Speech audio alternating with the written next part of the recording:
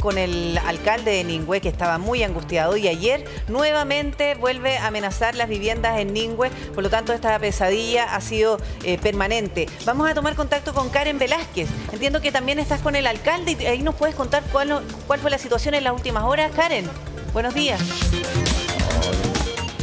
Sí, ¿Cómo están? Muy buenos días. Fue caótica, hay que decirlo. Ayer la verdad fue muy lamentable lo que se vivió acá en Ningüe, específicamente en los cerros.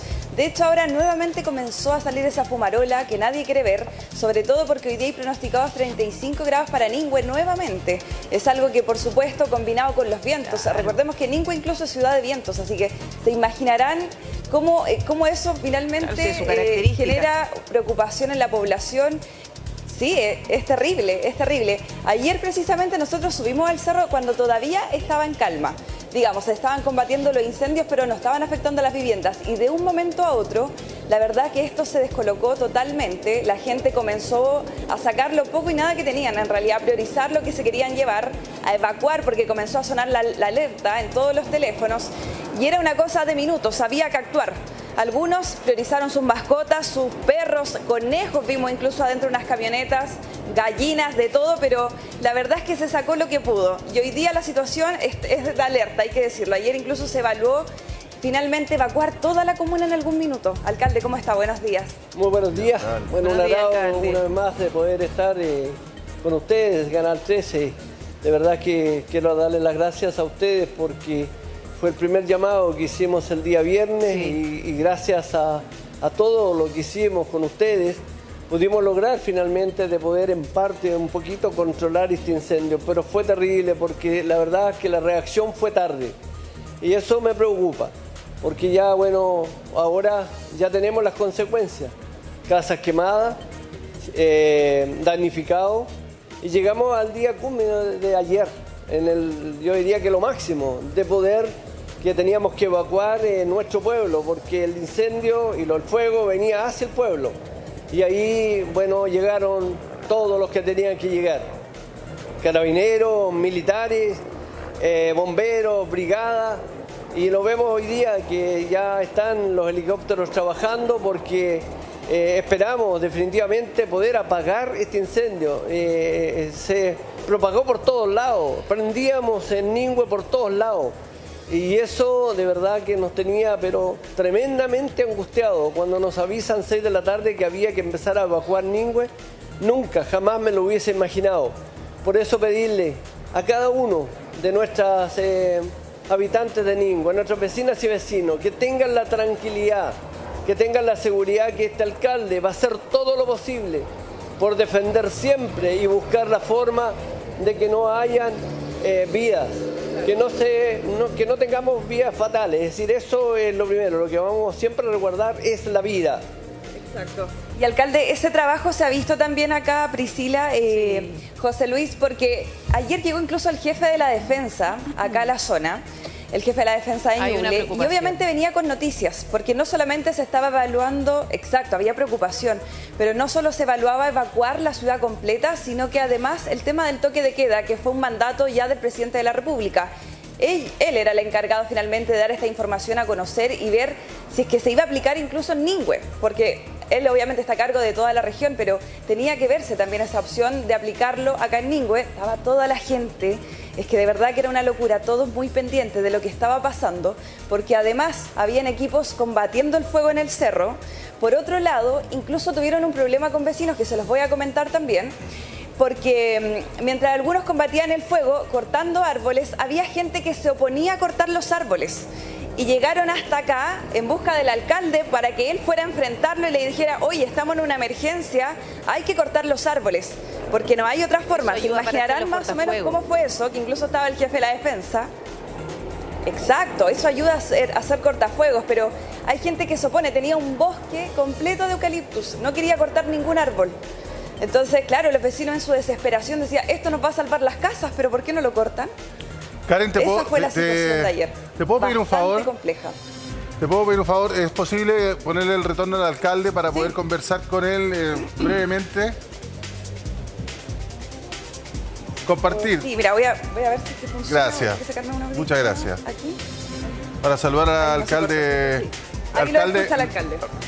Ah, ahí lo, ahí lo podemos Alcalde, ¿cómo está? Gusto saludarlo. Me imagino que la pregunta resulta okay. ridícula. Sí, muy bien. Un agrado de saludarlos y saludar a Priscila. Muchas gracias una vez más a ustedes. Bueno, ya estamos un poquito más tranquilos, pero eso no significa que está solucionado nada. Creo que estamos con el fuego aquí a nuestras espaldas, muy cerca nuestro, pero quiero pedirles una forma de ayudar a Ningüe, quiero decirle que es a, través de sacar su permiso de circulación aquí en la comuna. Eso nos ayuda, porque esto lo tenemos ahora. Hemos recibido mucha ayuda, hemos recibido mucha ayuda, pero eso es ahora pero tenemos que pensar que vamos a tener que ayudar a nuestra gente por durante los 10 meses. ¿Y cómo lo vamos a tener que hacer?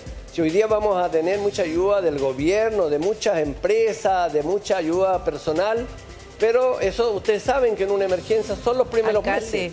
Pero después no, entonces ahí es donde la municipalidad tiene que tener las plata y la única manera de tenerlo es que usted saque su permiso de circulación y ahí tenemos platita para poder ayudar muy a buen mensaje. Sí, es que es un muy buen mensaje porque en medio de la emergencia todos estamos pendientes de esta zona y después uno tiende a olvidarse. Por eso es importante que esa ayuda quede al menos plasmada con el permiso de circulación. Así es que eh, es muy importante el llamado que hace usted. Alcalde, lo hemos visto en una situación muy angustiante, no solamente desde el viernes cuando eh, conversamos por primera vez con usted cerca de las 10 de la mañana con este llamado insistente para que llegaran las aeronaves porque estaban siendo amenazadas las viviendas.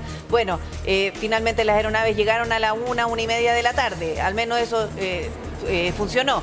Pero ayer, además, después de varios días, lo vimos en un video que usted mismo compartió en redes sociales, en donde el cielo se ve completamente rojo. Mire, vamos a revisar el video y ahí también usted me va comentando, porque es tremendamente dramática esta imagen. Es un bosque que está muy cerca de las viviendas y que por supuesto usted también sale a, a dar ronda y me imagino que cuando se encuentra con este tremendo monstruo, se queda prácticamente de manos atadas porque cómo hacerlo. ahí está el video, eh, empiezan a avanzar. y si mal no recuerdo, en el video se empieza a escuchar que a usted le llegó la alarma y tiene que evacuar.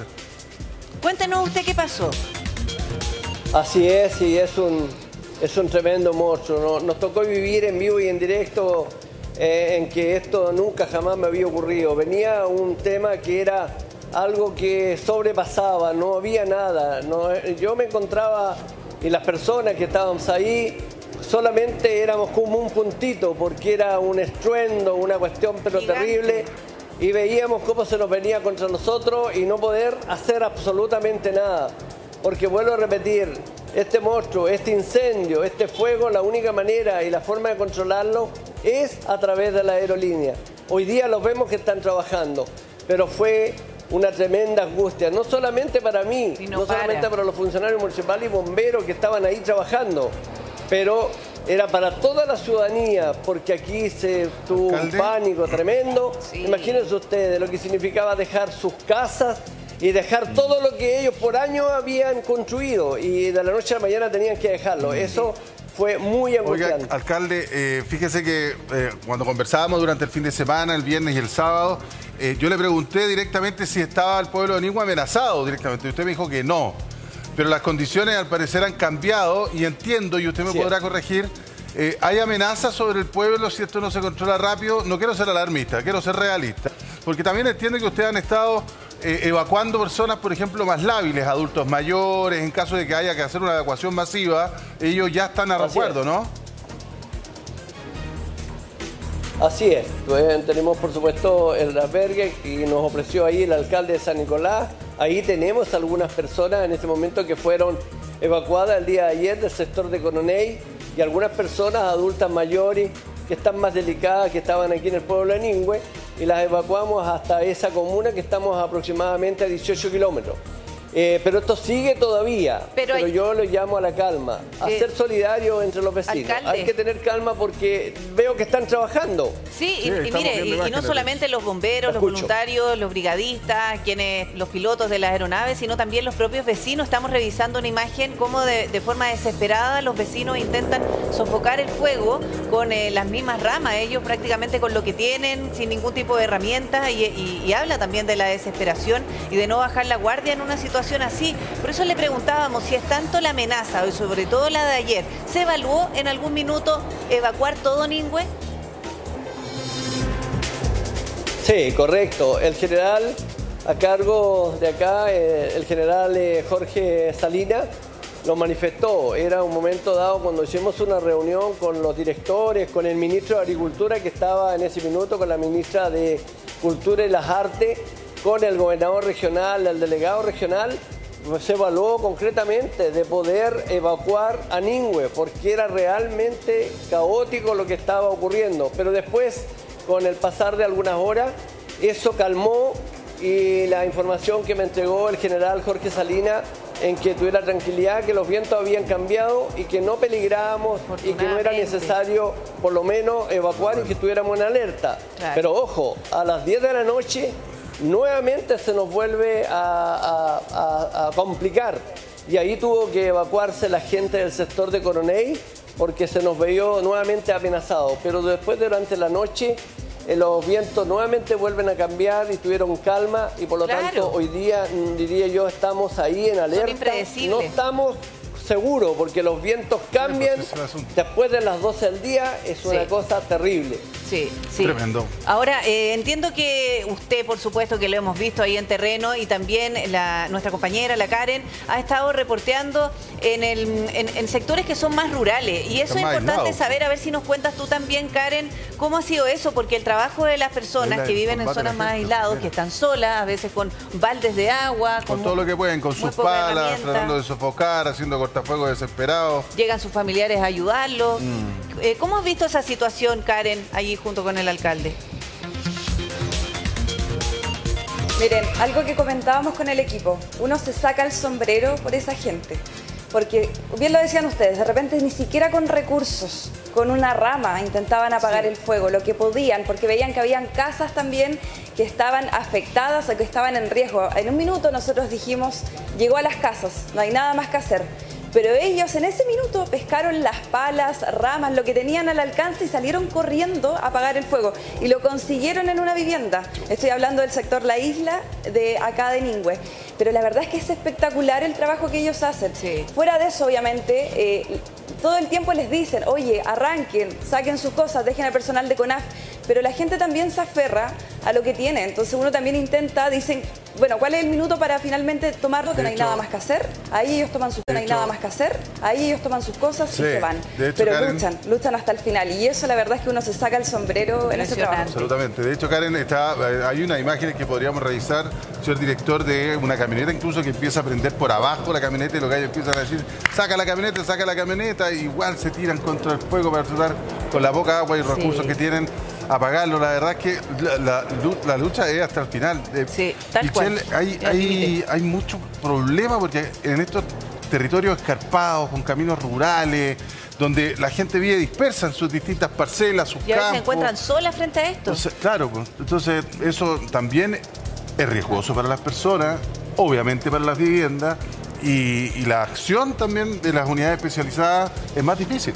Así es, y yo creo que lo que estamos conversando respecto de las personas que actúan que pueden hacer una labor. Ojalá, alcalde, si usted pudiese también orientar, ojalá que esas personas estén coordinadas con los equipos, porque en algún momento está el nivel de ansiedad, de tensión, que uno eh, extiende la decisión de arrancar o de escapar o de evacuar y se expone a un tipo de riesgo que la verdad es que con la velocidad que avanza el fuego eh, puede ser muy tarde y por lo tanto a veces hay que ser frío en ese momento de, ansiedad y decir, bueno, dejo la rama, dejo, dejo las herramientas y arranco. Y ahí para eso, para hacer una buena evacuación, requerimos información y yo quisiera hacer una pregunta, si es posible, al alcalde.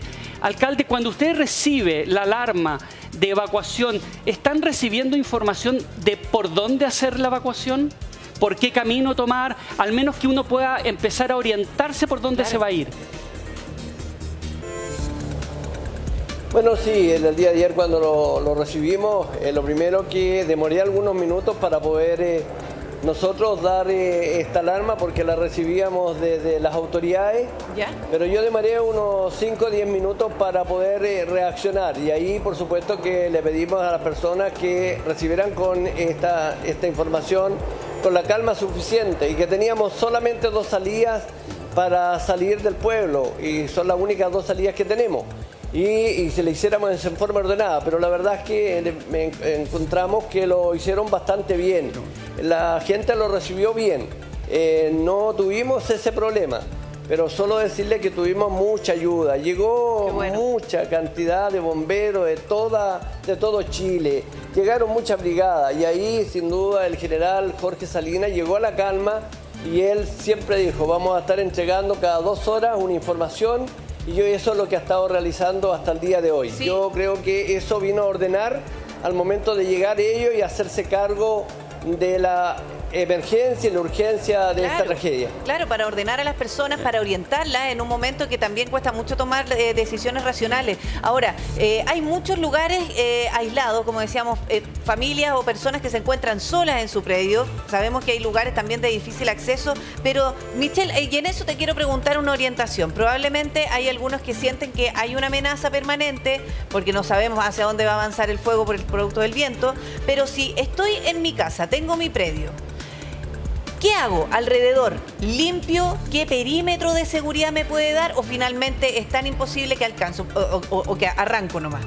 Porque resulta que quizás tengo tiempo para hacer unas zonas de seguridad. O sea, de hecho hoy día hay zonas que no están quemadas y por lo tanto están amenazadas porque está cerca. Por lo tanto, 10 metros de distancia entre una casa, por ejemplo, o puede ser un establo en un momento dado, porque tenemos animales, 10 metros a lo menos una franja donde limpiamos, básicamente digamos eliminar combustible, puede ser vegetacional, puede ser basura, puede ser una estructura de madera, 10 metros. Más allá del de los 10 metros, ojalá ir eliminando lo que hemos hablado de continuidad de combustible, es decir, ojalá reducir ese combustible. Me parece muy bien la medida que habían señalado y eso no hay que cuestionarlo en términos de cortar a veces algunos árboles, pero anticipadamente. O sea, yo creo que aquellas zonas que están sin que, sin que estén quemadas, ahí hay algo que podemos hacer. Incluso que no están en riesgo pero están amenazadas, por ejemplo, por la cercanía. Exacto. Ahora, eh, la Karen nos contaba sobre también eh, sobre una situación de una persona que no quería que cortaran los árboles. Seguramente, como lo hemos dicho acá, hay muchos parceleros, gente tiene que sus campitos forestales que les sirven para como actividad económica, más allá de después podemos debatir sobre los monocultivos y todas las cuestiones que están pasando en toda esa zona. Pero es cierto que pequeños, digamos, agricultores también, o medianos agricultores, tienen sus predios con árboles porque los venden como leña, venden como vara, qué sé yo, un montón de cosas así. Alcalde, ¿usted ha visto en la zona, eh, no sé, problemas en ese sentido, primero, para, para cortar eh, árboles o limpiar sitios que a lo mejor son de personas privadas? Y segundo, temas con bomberos, ¿han podido trabajar bien o ha visto dificultades también? a ver, lo primero es que eh, está muy bien lo que ustedes dicen, es decir, las personas hacerle un llamado que por favor limpien hasta alrededor de sus casas. La poca agua que tiene, porque nosotros tenemos una escasez eh, de agua enorme, mucho. Nosotros no tenemos APR aquí, estamos muy atrasados en eso, pero la poca de nada de agua que tienen, yo nosotros le pedimos que puedan tirar agua en los patios, tirar agua a la casa y poder prepararnos.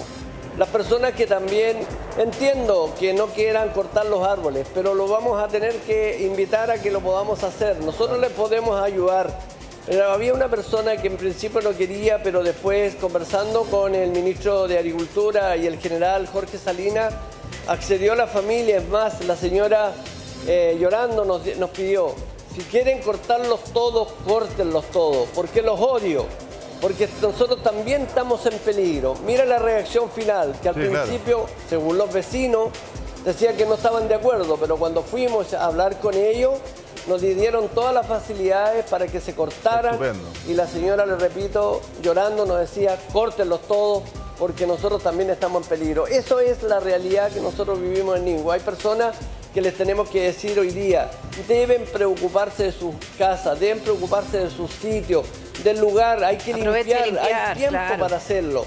Pero no hay que esperar que llegue el, fuego para decir ahí, porque eh, mire, hubieron varias casas, hubieron varias casas en el sector de Piedras Blancas que no se quemaron. Y no se quemaron porque los vecinos, los dueños de casa, habían limpiado alrededor. Y eso, les salvó la casa. Por lo tanto, ¿cómo no copiar eso? Hay que copiar eso, hay que hacerlo. Alcalde, eh, ha enviado mensajes bien potentes hoy día, eh, recomendaciones y por supuesto también lo que tiene que ver con la ayuda, permiso de circulación, por ejemplo, en las zonas afectadas, particularmente ahí en Ningüe, como dice el alcalde, para que tengan estos recursos y poder reconstruir y esos recursos destinarlos a las personas que han perdido todo. Le agradecemos, alcalde, que haya conversado con nosotros. Usted sabe que tiene línea abierta eh, con, con tu día, así es que cualquier cosa nos avisa. Y muchas gracias, Karen. Te dejamos para que sigas allí reporteando. Mucho ánimo y mucha suerte, alcalde. ¿ah? Cariño pues. a toda la gente de Ningüe. Mire, cuando nosotros hemos hablado también de tantas situaciones que surgen en la emergencia, obstaculizar el trabajo de los bomberos, obstaculizar